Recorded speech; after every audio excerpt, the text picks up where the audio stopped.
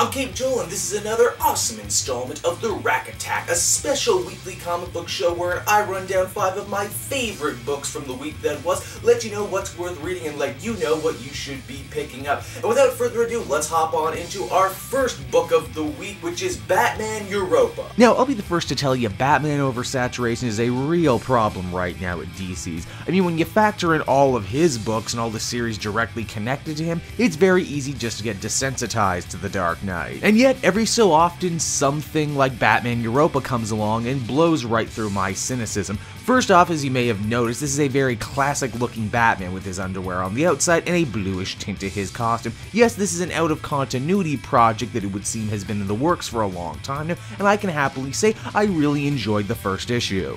When Batman gets infected with a virus that will kill him if he doesn't find a cure, he's forced to take a trip to Europe, a very educational one, no less. The change of scenery is really cool, and uh, you also get a real sense for uh, Germany and Berlin, which is the first stop on his trip. We also discovered that the Joker has been infected with the very same disease as Batman, and these two mortal foes will need to join forces if they want to live. All in all, a very good start to what should be a cool four-parter. If you want a more in-depth review of this comic, then by all means check out mine over at the Comic Book Cast 2 channel right now. Get ready to bring down the thunder because our next book on the Rack Attack is The Mighty Thor issue number one. Jason Aaron has been on absolute fire with the Thor book from day one, and while some people certainly got their dander up over the hammer changing hands and the mystery surrounding it in the last arc before Secret Wars, I can personally say I was riveted all the damn way through. Of course, the big hurdle now for the book is that the cancer-ridden Jane Foster has indeed been revealed to be the new God of Thunder. Will readers stick around for her adventures? I know I sure will. Issue 1 offers up a ton of interesting new situations for our favorite Super Thunder. You see, along with dealing with a slow death from cancer, Jane must also contend with an Asgard and an Odin that have branded her an outlaw, not to mention a war that threatens to erupt in the Nine Realms, which Jane can stop with her work as a senator representing Earth on a cosmic stage. What I'm trying to say is Thor is busier now than ever before, and I am totally psyched to see where this new run is gonna take us. Our third book on the Rack Attack this week for Wednesday, November 18th, 2015 is Titans Hunt, issue number two. Teen Titans fans have been pretty hard done by in the new 52 era. Not only does the current team kinda blow and have blown since day one,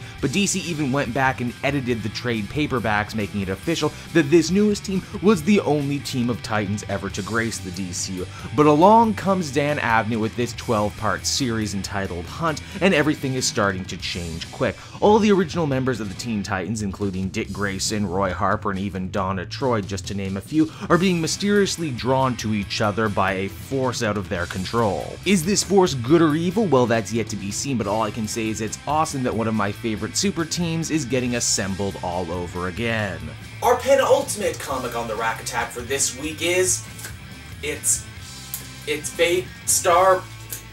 Friggin' Blade Builders series. Why are the batteries never included in these things? It's Star Wars Vader Down, issue number one. The new generation of Marvel Star Wars books has been killing it. Great writers getting a chance to play around in an amazing universe, and now they're trying something brand new a Star Wars comic book event that crosses over both main monthly titles. The story finds the Dark Lord of the Sith on a quest to find his missing son, only he jumps straight into the Rebel fleet while on maneuvers. I like in the new Star Wars canon, both the TV shows and the comics, they're really trying to re-establish Darth Vader, the former Anakin Skywalker, as a great pilot. His son Luke also seems to have inherited these skills because the premiere issue treats us to an absolutely awesome space battle. It all culminates in Vader being stuck behind enemy lines with almost the entire force of the rebellion breathing down his neck. Will he escape these insurmountable odds? Well, yes, obviously he does. It's a foregone conclusion, but that still doesn't mean we can't have a lot of fun along the way, huh? And our final book on the Rack Attack this week, you know her, you love her, you've been waiting for her to return. It's Ms. Marvel number one. You know, I don't think I'm out of line when I say G. Willow Wilson changed the face of modern day comics when she burst onto the scene with Ms. Marvel, and now the hero we love is back again, and an Avenger to boot.